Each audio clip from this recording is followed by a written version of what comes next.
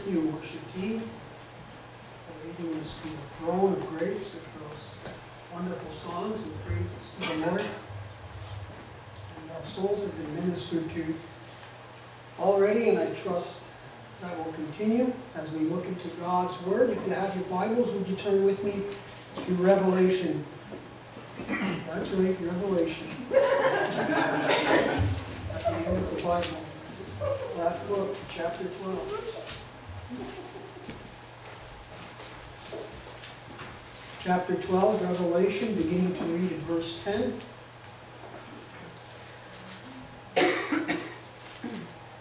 Then I heard a loud voice in heaven saying, Now have come the salvation and the power and the kingdom of our God and the authority of his Messiah. For the accuser of our brothers and sisters, who accuses them before our God day and night, has been hurled down. They triumphed over him by the blood of the Lamb, and by the word of their testimony, they did not love their life so much as to shrink from death. Therefore rejoice, you heavens, and you who dwell on them. But woe to the earth and the sea, because the devil has gone down to you. He is filled with fury, because he knows that his time. May the Lord add his blessing to the reading of his word. Let's look to the Lord before we look into his word. Father in heaven, we again give thanks to you.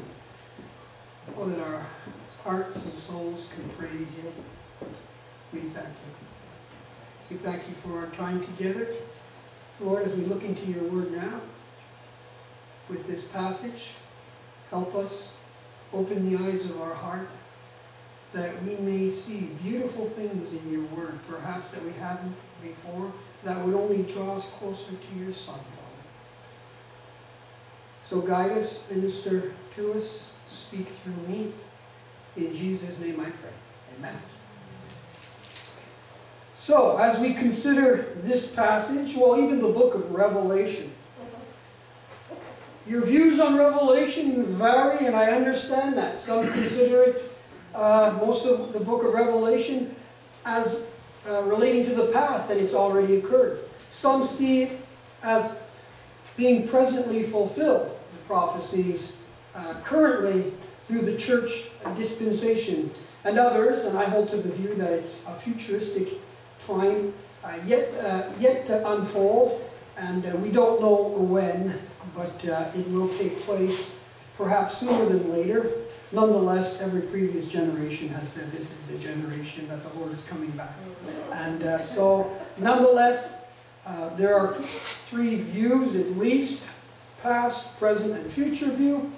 But nonetheless, I trust that this morning, uh, irregardless of what view you hold to, we can all draw some uh, important application from the passage that we are considering here this morning.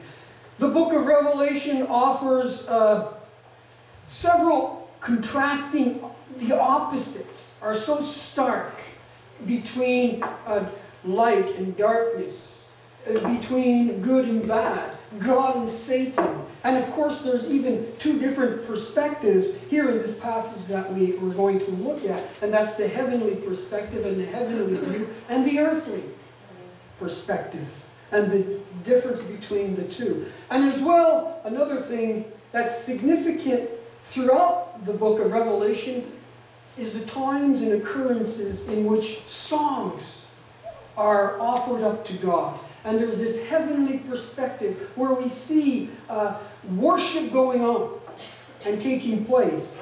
And uh, one such passage, even though I titled the Song of Victory, well, I'm calling it a song because in verse 12 it says, Therefore rejoice. A song of rejoicing. Certainly, uh, words of rejoicing are offered, and there's uh, songs throughout uh, this wonderful book Revelation. There was a Wesleyan preacher in England, Peter Mackenzie. He was a most godly man. He was once preaching from the text, and they sang a new song. And he said, Yes, there will be singing in heaven. And when I get there, I want to have David with the harp, and Paul and Peter, and other saints gather around for a sing. And I will announce a hymn from the Wesleyan hymnal Let us sing number 749.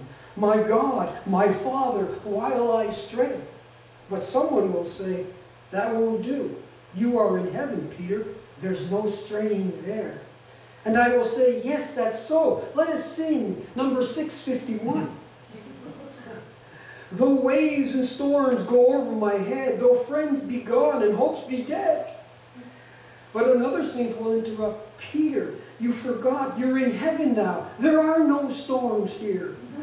Well, I will try again, number 536. Into a world of scoundrels, scoundrels sent. Peter, Peter, someone will say.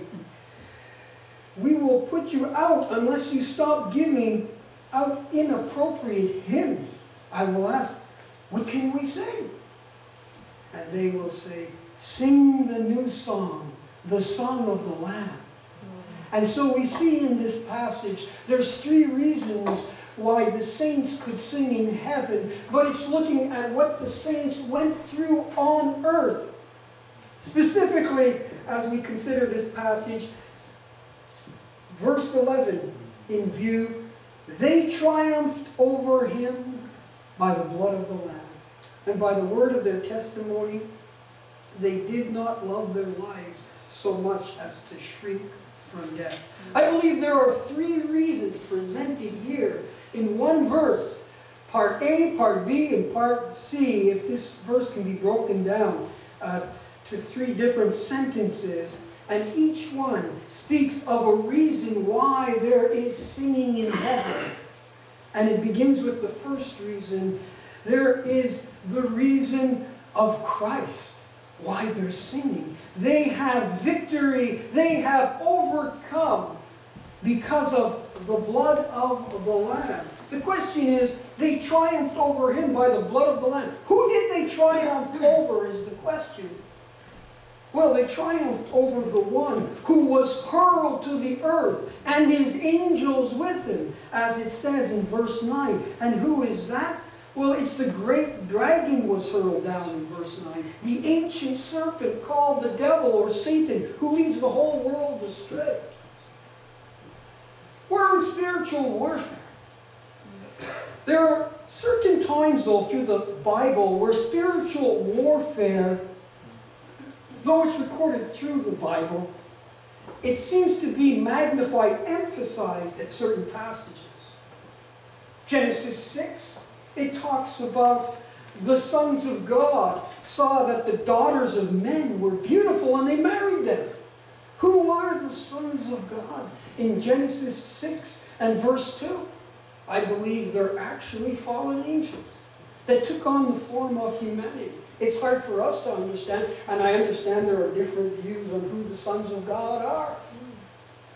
But I believe that was the first step in Satan's desire to want to taint humanity so that the promised seed of woman would not come into the world.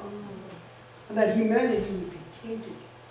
And therefore God had to and be, uh, flood the earth and destroy it, except for eight who were delivered from it. Another time in which there seems to be uh, an emphasis on the spiritual warfare, though again it's recorded through the scriptures, but at the time of Christ and the coming of Christ into the world. How often do we read about Jesus casting out demons in, uh, through uh, his public ministry here on earth? It's mentioned, and of course, uh, through the New Testament, we've got Ephesians chapter 6 and verse 12 that talks, uh, tells, reminds us that we're in a spiritual warfare, that our battle is not against flesh and blood, but against principalities, powers, rulers of darkness. And uh, 1 Peter 5 and verse 8, it talks about uh, the devil is our adversary, or our enemy, and he is like a, a roaring lion seeking whom he may devour. So we notice uh, that these uh, that there's spiritual warfare today, but in the last days, as recorded in Revelation from a futuristic point of view perspective, there seems to again be heightened spiritual warfare, satanic warfare. And that is who uh, they triumphed over uh, him. Him is the devil and his minions, or as fallen angels. And they have overcome by what? It says that they overcame uh, the enemy because they belonged to a certain church. Because they had been baptized.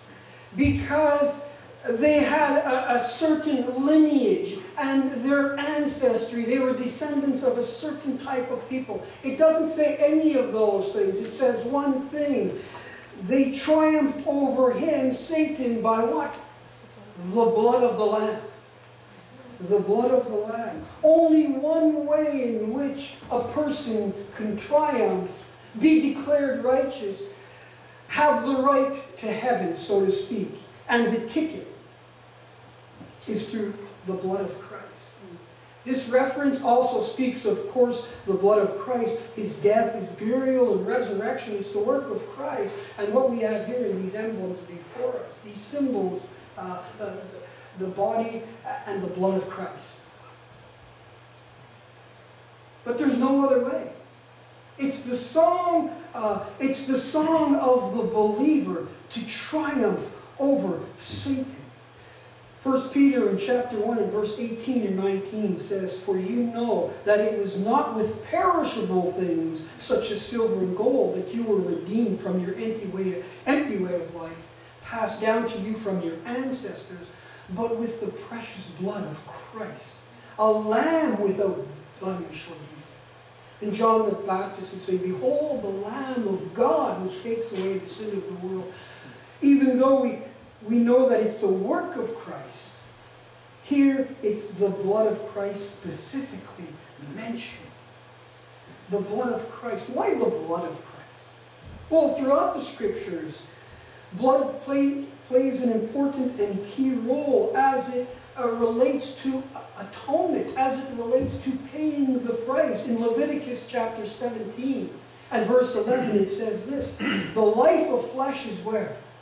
In the blood. It is our blood that's giving life to our body.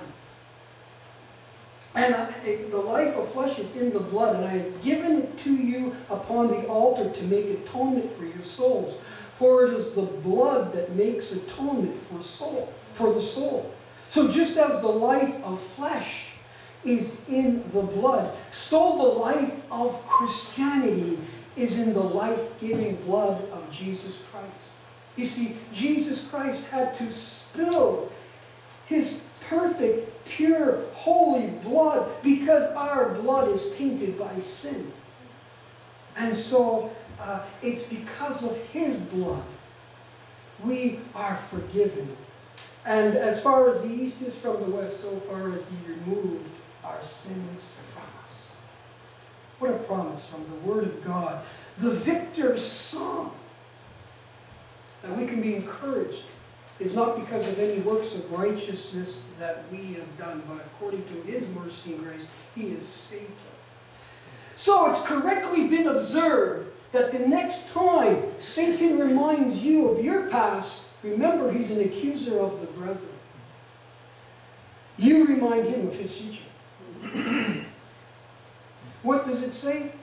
He was hurled down here in this passage. He was hurled down. And what does Satan want to do? Because he knows is once he's hurled down from heaven, it seems as though Satan, up to this point here in uh, Revelation, and currently, Satan has access to the presence of God. And uh, we just need to read the book of Job where it seems as though Satan had access to the presence of God when the sons of God pre presented themselves to God. And Satan was also there. But at this point, at this juncture in the existence and the history of Satan, at, he is cast out of heaven. He is hurled down. So what does Satan want to do? He realizes his time is short, so he wants to cause as much havoc and fury as possible in attacking the people of God. And of course, the world. We need to be encouraged, though, that Satan has a future. He's cast out of heaven here. But in Revelation 20 and verse 3, it says that Satan was cast into the abyss. He was locked and sealed, and he was bound for a thousand years. Now, if you believe in the literal thousand years as presented in Revelation 20, mentioned six times in the first seven verses, that it's literal thousand years, as I do, at the end of the thousand years, Satan is loosed for a short while. And then in verse 10 of chapter 20, it says, The devil was thrown into the lake of burning sulfur, where the where the blast, uh, where the where the beast and the false prophet are. They will be tormented day and night forever and ever. And that's his future. So whenever Satan whispers into your ears about your past, and we all have a past, some things we, we wish we could forget, and yet Satan might whisper in our ears. Something may, we may be confronting with something about our past uh, that may be a source of discouragement. Just be reminded that it's gone. It's forgotten with God. And we have a glorious future. Satan has a terrible future. And he is one day going to be relegated to a place of burning sulfur for eternity. May we be encouraged, not only about uh, this reason that it's because of what Christ has done, but also reason number two offered in verse 11 victory, and by the word of their testimony. By the word of their, their testimony. We notice that the saints would not be silenced during this period of time, yet future, but we can look back to the past history. Someone has said, uh, the blood of the martyrs is the strength of the church. And we see that, uh, or the seat of the church, we see that here these saints would not be silenced even though they were facing adversity of a significant degree. They proclaimed the Savior and the saving message. It says, by the word of their testimony. Certainly, we know that our lives are important in how we live, and people are looking at the Christian even today. But faith comes by hearing, and hearing by the word. And the, it, it was the spoken word. So we see here there was the second reason is a reason of confession. They confessed who they were, whether it be publicly to masses, whether it be privately to individual in what they said, perhaps in what they communicated, in what they weren't going to do because they belonged to the Savior. In either case, there was a testimony. Their lives and their lips spoke volumes of who they were and whom they belonged to. May we be reminded. Uh, they possessed this message, they proclaimed it. The word speaks, it may be speaking of a personal word as they shared, but it could also be speaking ultimately about the word of God, the sword of the Spirit. Most difficult of days, they were speaking God's word, the word of their testimony must inevitably speak about the work of the Holy Spirit. It is the Spirit that gives us a testimony. God's Spirit living inside of us, isn't it? For the Spirit God gave us does not make us timid, as it says in 2 Timothy 1 7, but gives us power, love, and discipline. And so that was their testimony.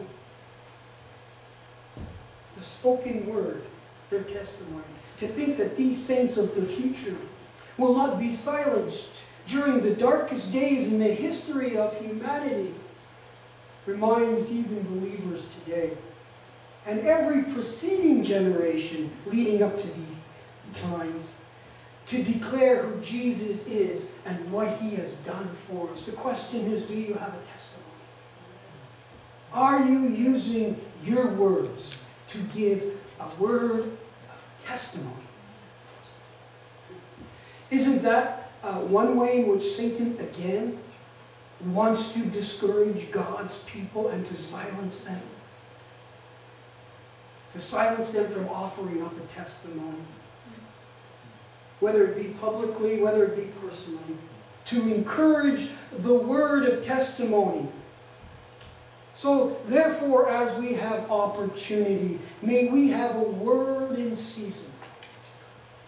In the 1840s, John Geddie left the pastorate of a church in Canada to take his wife and two small children to the South Sea Islands to begin a missionary work there. After a voyage of more than 20,000 miles, remember that's in 1840, uh, they arrived in the New Hebrides Islands. The island chain was filled with cannibals, and more than 20 crew members of a British ship had been killed and consumed just months before the Geddies arrived on the mission. That's a nice welcome. they faced the difficulty of learning the language. They, uh, they had no written form and the constant threat of being killed.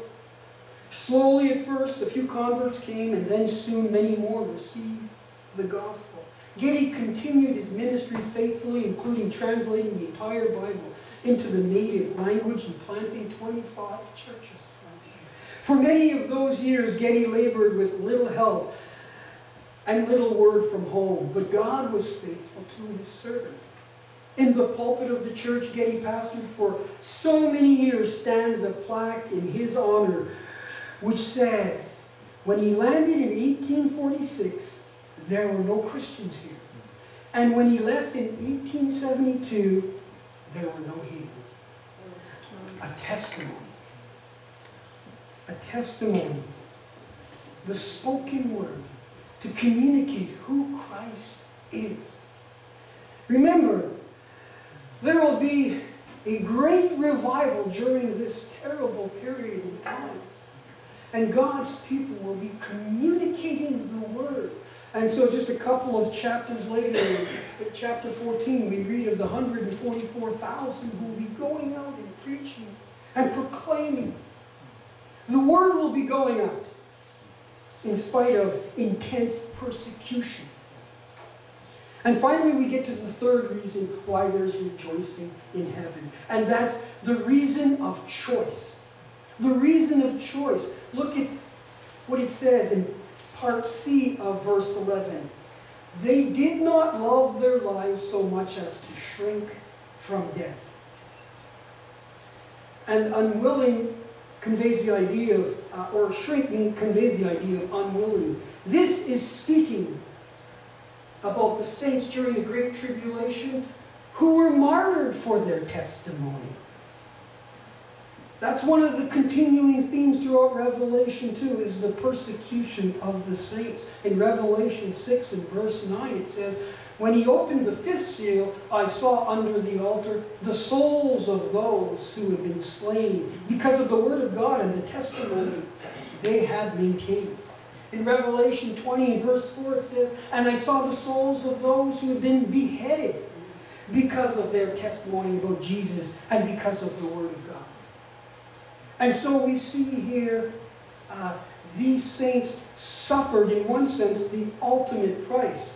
They were under great tribulation and suffer, suffering, yet they made a choice, a decision. It was volitional on their part. And what was it? They were not afraid of those who could only kill the body but could not kill the soul. They did not shrink from death.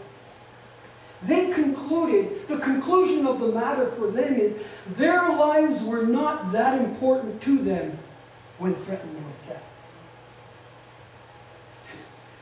Even though you and I may not be required to suffer a martyr's death, how do we view our temporal lives in the light of eternity? Do we have the attitude, as the Apostle Paul declared, for me to live is Christ and to die is gain? Or do we have the attitude, for me to live is gain and to die is loss? For the believer, they knew that death was the ultimate victory. And may we be reminded, He may bid us to die for Him. But until then, may we live for Him. May that be the song of our heart as this year begins to live for Christ. to be encouraged that we're on the victor's side. It's a victory song. Uh, the reasons why we are victors because of the blood of the Lamb, because of the word of testimony. The world cannot stop that word, nor can Satan. And finally, we approach this life with a view to the next life and with a heart's desire to live for Christ. Let's pray. Father in heaven, we thank you for your goodness and grace. Lord, there's many views concerning this book and how it's interpreted. Yet your people can all come to the conclusion that it's only by the blood of Christ that we are saved. It is by grace that we are saved through faith. And that not of ourselves, it is the gift of God, not of works, lest any man should boast. And we're also reminded, O oh Lord, that you've given a song in our hearts, a word of testimony. And the Spirit of God, that is not a spirit that leads to fear, but of love, power, and sound mind. And Lord, ultimately, we don't know what these days and this year is going to occur in our lives, but you do.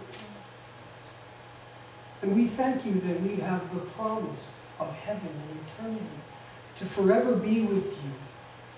So help us, Lord, in these days and times to live in light of eternity's values. We thank you that we are more than conquerors through Christ who loved us and gave himself for us. I pray for each one here that you would minister to the souls of each one for your glory and honor. In Jesus' name I pray.